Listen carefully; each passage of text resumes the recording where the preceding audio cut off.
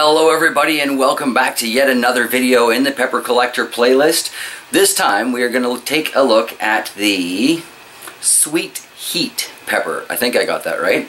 It's um, it's very similar to that El Jefe or El Jeffy pepper in uh, a few different ways, but kind of different too. So let's get started taking a look at it. All right. So we're just inside uh, taking a look here at this Sweet Heat pepper. As you can see, it's a very, very productive plant. I picked this one up from the old Art Naps Now Garden Works.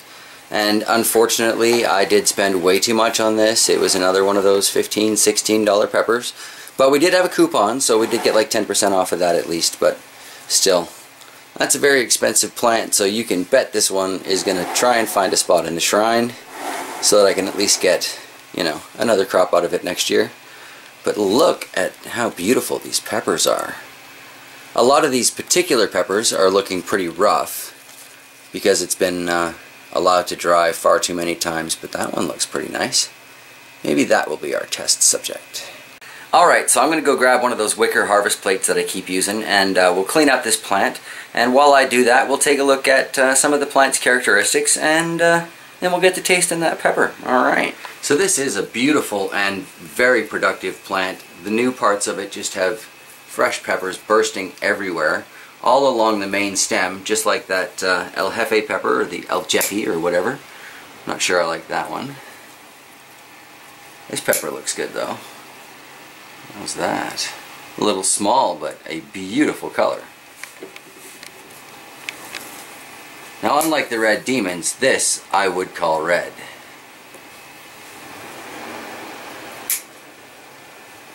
So Chox has decided to join us today for the tasting so that we can get sort of a, a more fair sampling of what these peppers are actually scoring at on a heat scale because my opinion is a little warped in most things, especially how hot peppers are. So I'm just going to continue harvesting these off and we'll get the sampling. Well, that plant sure looks different after that harvest and there are still so many uh, fruit starts. I've got green fruit, I've got pepper flowers on here. This is going to be a good purchase in the long run, I think. I'm very curious to find out how these taste. So let's uh, set up a tripod and find two that look, you know, worth eating. Alright, so let's just double check the card here, because safety first. Everybody knows Chox, right? Go subscribe to her channel. She's awesome. She does Hi. cool stuff with cakes and glitter finish.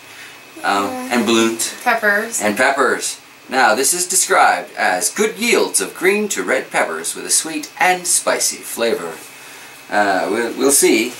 I'm a little nervous after that red demon, but it was nothing compared to, uh, you know, like that ghost pepper. Ghost pepper was pretty rough. Yeah, and that the sauce that made me tear up.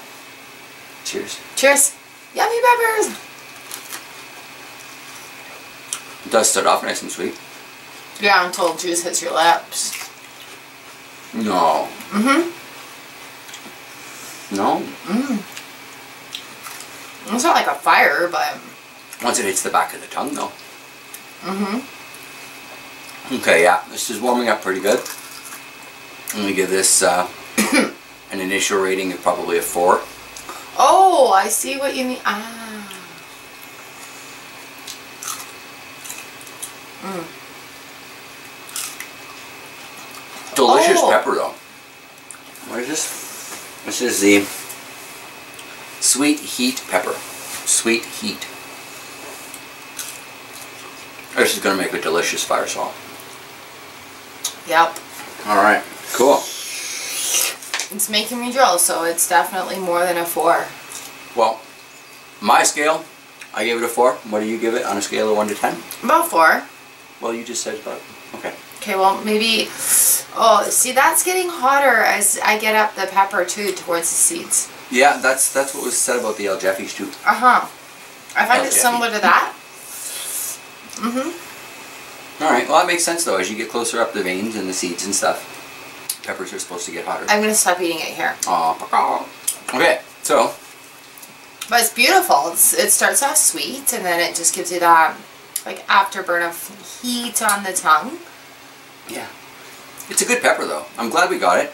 And uh, it is a little bit different from the El Jefe. So, yeah, I'm glad we got both of them. But it's got a good sort of an afterburn. I'm not going to place it anything above a 4. But uh, I have high expectations. I want Mrs. White. I want flames on the side of my Burning face. off my face. Yeah, we're not there So, yet. No, no. But the Carolina Reaper is growing. And uh, so is the Ghost Pepper. And so are the Fatalis. And so are the other ones. Yeah, but those are the ones I'm excited about. So, alright everybody, I guess that's it from uh, potentially the future home of the Pepper Shrine is still undecided.